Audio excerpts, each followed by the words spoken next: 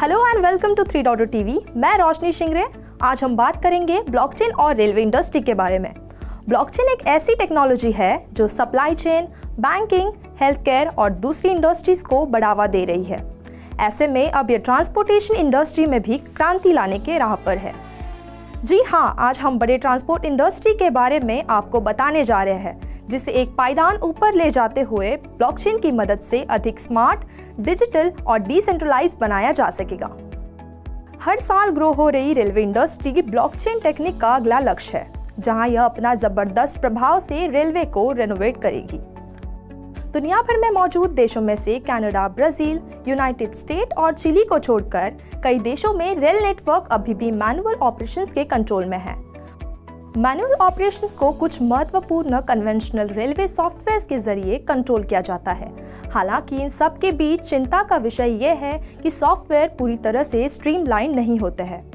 यही वजह है कि अक्सर ऑपरेशंस में अनएक्सपेक्टेड इश्यूज़ जैसे एक्सीडेंट्स टिकट बुकिंग को ट्रैक करने में दिक्कत का सामना करना पड़ता है।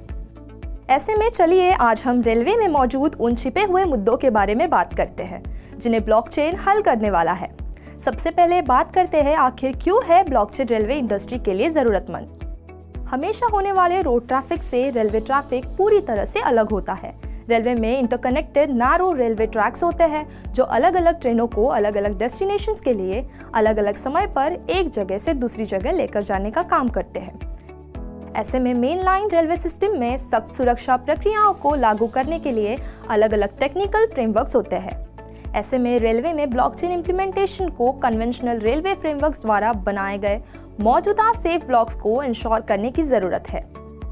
इन सभी एलिमेंट को मद्देनजर रखते हुए अब भारत के कर अधिकारी ब्लॉकचेन तकनीक की मदद से सीमा शुल्क कर काटने के रूप में रेल कार्गो को स्कैन कर रहे हैं, ताकि होने वाली अवैध तस्करी को कम किया जा सके। Central Board of Indirect Taxes and Customs के चेयरमैन विवेक जौहरी का मानना है कि केवल कर दरों को बढ़ाने या घटाने से अवैध व्यापार पर अंकुश नहीं लगाया जा सकता। इसलिए ब्लॉकचेन टेक्नोलॉजी का इस्तेमाल करना बेहद ज़रूरी है।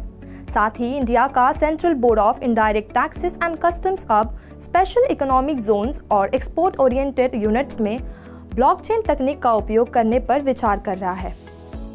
यह एक्सपोर्ट और इंपोर्ट कंटेनर्स को रेडियो फ्रीक्वेंसी आइडेंटिफिकेशन टैगिंग के एक्सटेंसिव उपयोग के साथ मिलकर सीबीआईसी को सभी टोल प्लाजा सहित कार्गो को एंड टू एंड ट्रैक करने में भी मदद करेगा।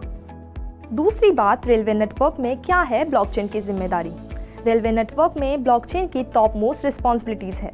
ऐसे में ब्लॉकचेन को सिक्योरिटी लेवल को सुनिश्चित करने से लेकर लोगों की जान को एक्सीडेंट से बचाने के लिए decentralize autonomous decision making system के साथ स्मार्ट कॉन्ट्रैक्ट्स की ज़रूरत है।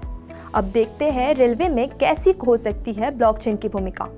रिवॉर्ड पॉइंट्स अगर रेलवे नेटवर्क में ब्लॉकचेन को लागू किया जाता है तो यात्री हर बार टिकट खरीदने पर रिवॉर्ड पॉइंट्स जमा कर सकते हैं।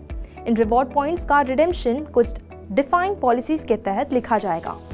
क्लेम किए गए रिवॉर्ड पॉइंट्स का इस्तेमाल ट्रेन यात्रा के बाद कैब जैसी दूसरी सेवाएँ हासिल करने के लिए किया जा सकता है।